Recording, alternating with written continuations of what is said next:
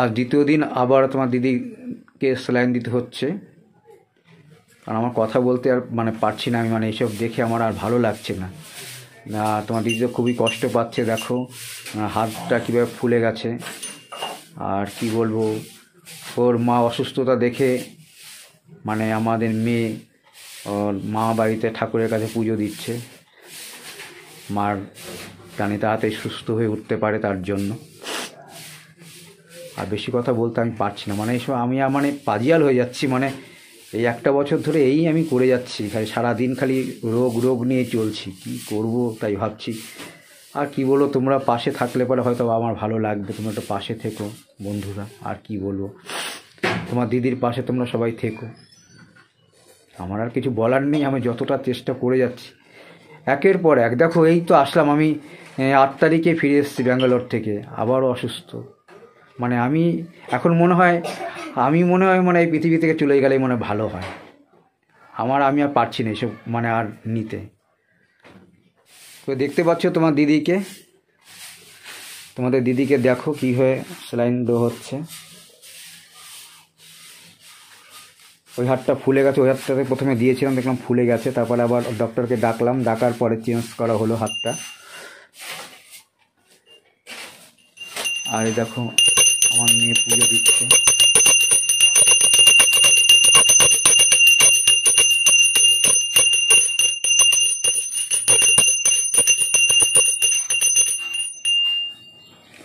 মা জানি তাড়াতাড়ি সুস্থ হয়ে উঠতে পারে, তার জন্য এখন কি করবে? যে বলে, আমি একটু ঠাকুরের কাছে পুজো করি।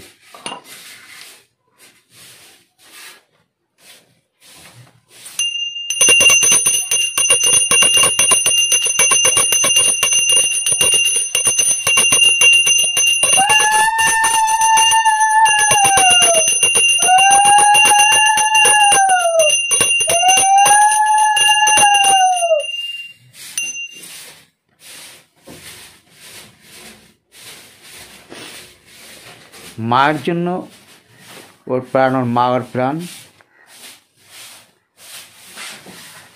আর কি বলে দেখো তোমাদের দিদি শুয়ে আছে। দিদি, এই এক বছর ধরে রোগেই মানে এই বাড়ি আসে একটু সুস্থ হয় আবার, এই সুস্থ হয় আবার। মানে একটা বছর এই চলছে দিদির।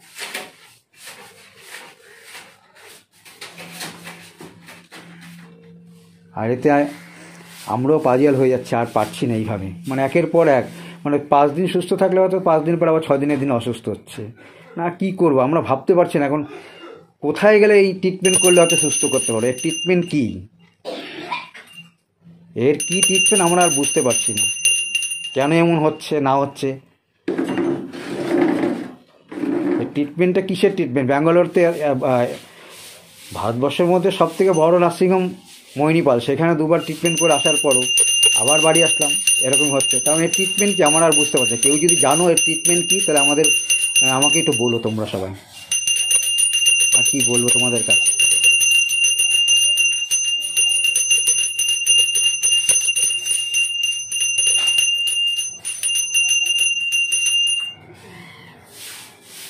একের পর এক ছুটি নিয়ে অফিস কাছারি বন্ধ করে এই করছি লাইফে তাও সরকারি ছুটি, চাকরি করি বলে হয়তো ছুটি ফুটি নিতে পারছে। তো বেসরকারি যদি কাজ করতাম, তাহলে তো আমাকে ধাইয়ে দিত, বলো। কদিন ছুটি নেওয়া যায় একটা বেসরকারি কোম্পানিতে? আজকে সরকারি চাকরি করি বলে নিজের ছুটি, পার্সোনাল ছুটি আছে, বা ছুটি লিভগুলো জমিয়েছি, সেই ছুটিগুলো নিয়ে আমি আজকে তোমাদের দিদিকে নিয়ে লাড়াচাড়া করে বেড়াচ্ছি। তাই বলছি তোমরা যদি কেউ এই রোগের বিষয়ে তোমরা যদি জেনে থাকো, তাহলে আমাকে একটু হেল্প করো। আমি তোমাদের কাছে রিকোয়েস্ট করছি। আর কি বলব? কারণ দিদির এই রোগ আমি তো আর এত ডক্টর দেখি এত করে তো পারছি না, কিছু খুঁজে। তোমাদের কাছে যদি কোনো ভালো সাজেস্ট থাকে, আমাকে একটু হেল্প করো তোমরা। ফুলে যাচ্ছে। এটাও তো যন্ত্রণা হচ্ছে। এই হাতটা দেখো। এই হাতটাও ফুলে যাচ্ছে বলছে।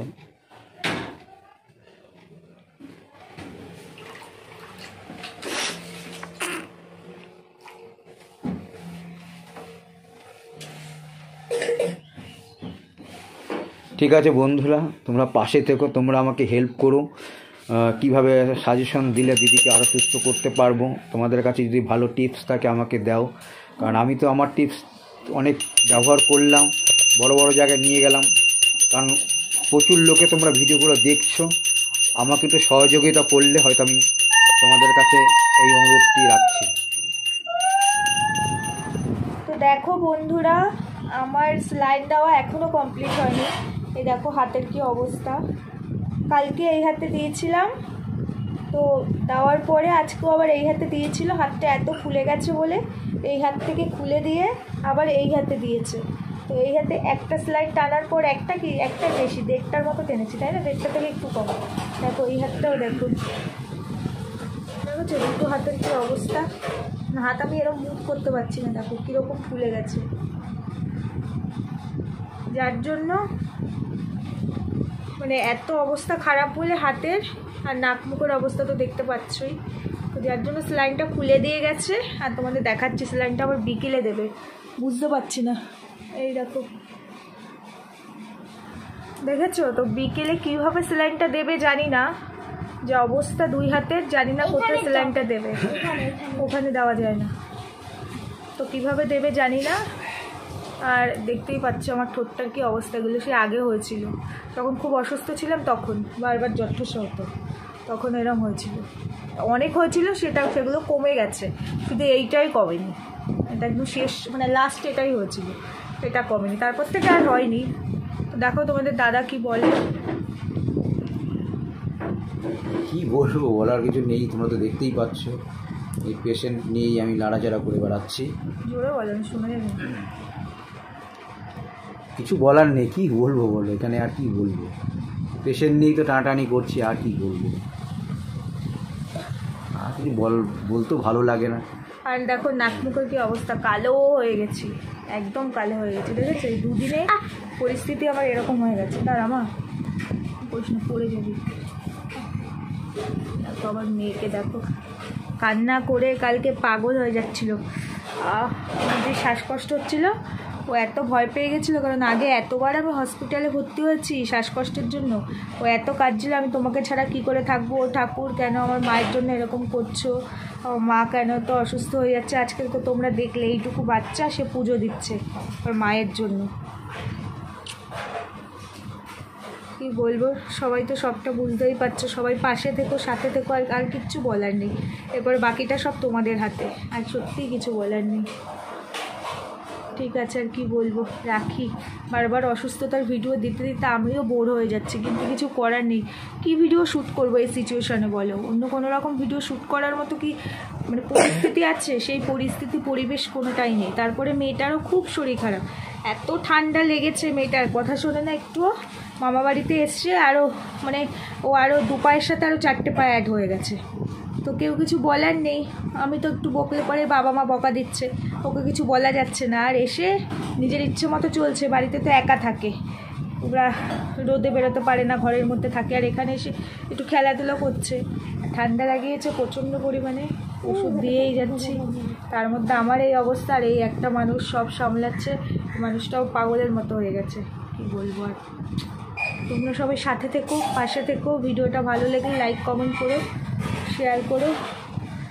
আর কি বলব? দেখা হবে আরেকটা নতুন ভিডিওর সঙ্গে। আজকে এখানেই রাখছি।